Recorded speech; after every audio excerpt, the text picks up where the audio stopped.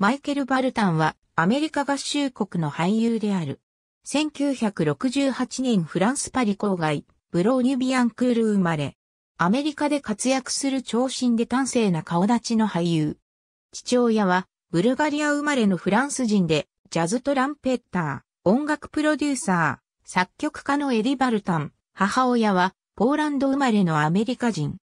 父親エディは1960年代から現在もなおフランスの国民的人気歌手、アーティストであるシルビー・バルタンの実刑で、シルビーを音楽界に導いた人であり彼女のブレーンの一人であった。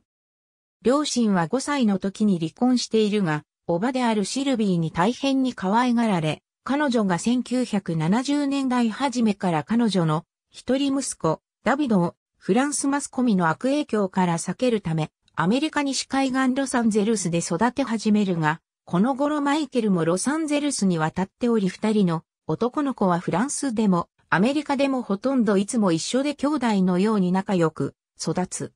父親の住むフランスと母親の住むアメリカを行き来するが、結局18歳の時にアメリカに落ち着く。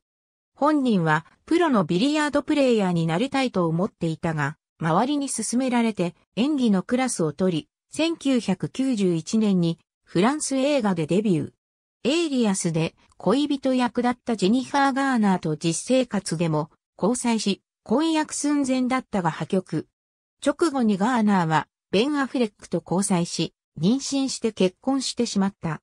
その時点ではまだ劇中では恋人同士の役であったため、バルタンのその後の出演についてはいろいろと囁かれることとなった。アイスホッケーが趣味で、エイリアスでも何度かホッケーをしているシーンがある。